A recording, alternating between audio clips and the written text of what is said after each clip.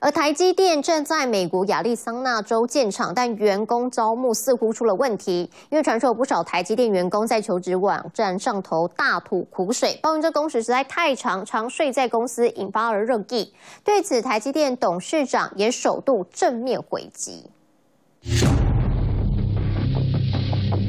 台积电预计将在凤凰城规划两座新厂，但以如火如荼赶工中的亚利桑那州新厂，员工招聘上却疑似出了状况。传出有不少工程师在 Glassdoor 征才网站上抱怨，不止一天做超过十二小时，更要加班睡在公司。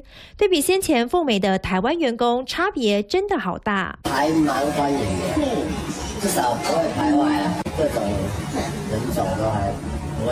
我们现在还是以公司的上班时间为主，是早上八点上班，下午五点下班。睡在工厂，我是觉得一定不是一个普遍的状况啦，但是一定会发生啦，因为。像我之前在台积电工作，这个睡工厂睡的也不在少少少数啊。那个有时候忙到太晚，那你就睡在车子里面。对于不少员工抱怨轮班制度、工时太长，曾在台积电十七年担任采购经理的宣宗志认为，主要症结点还是在美国人不适应这种工作模式。不愿意值班的人呢，就不要来参加这个产业了啊，因为因为这个因为这个产业并不是靠。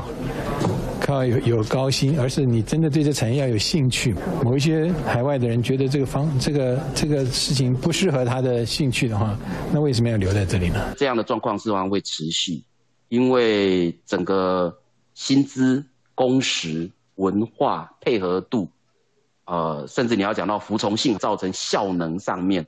差异很大。专家坦言，高压管理制度、加班是常态，再加上学历要求高、薪资却缺乏竞争力等等诸多困境，恐怕进一步冲击到台积电美国新厂获利状况。文化上面的磨合，我觉得也要再花。这个也不是说。